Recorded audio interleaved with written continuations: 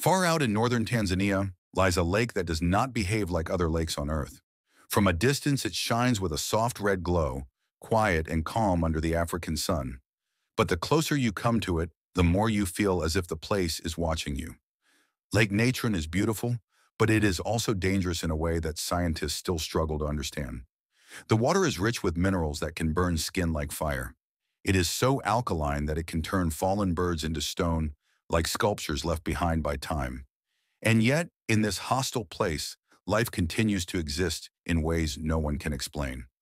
Flamingos build nests on the salty crust. Tiny organisms survive in water that should kill them instantly. Nothing here follows the rules of nature.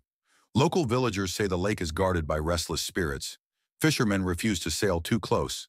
At night, the red surface becomes a silent mirror, reflecting shapes that do not always belong to the living, some travelers report seeing figures standing on the water before disappearing the moment they blink. Scientists have studied the lake for years, but the mysteries only multiply. Why do some animals survive while others turn to stone?